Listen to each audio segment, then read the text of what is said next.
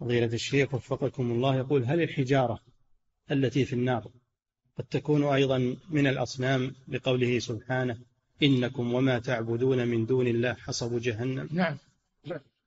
نعم الأصنام تكون في النار أيضا مع أصحابها الذين عبدوها وتكون أيضا من غيرها.